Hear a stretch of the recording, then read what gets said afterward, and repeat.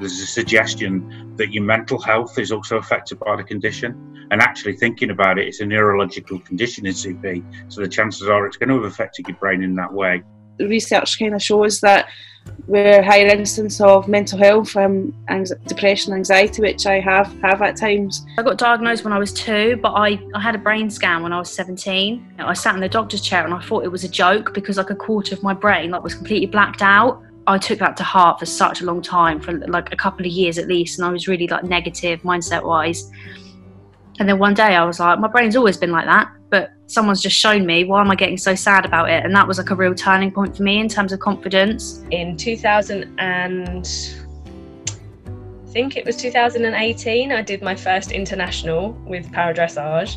Um, so that was really exciting. Um, and then I just had a complete, well, breakdown's probably not the right word, but I just, the support just went and I just didn't like my mental health was just getting really affected by it. So I just thought, well, I'm not going to ride anymore. I think it would be better if healthcare services had a lot more education um, and actually recognise that we know ourselves um, and, li- and listen to us um, so we can get the, the correct care um, that, that we need.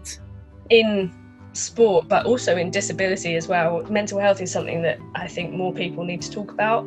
There's a very good Buddhist saying that anger can slay your enemy, but it can also slay yourself. And actually, once I recognised that, um, I think I was able to overcome barriers myself.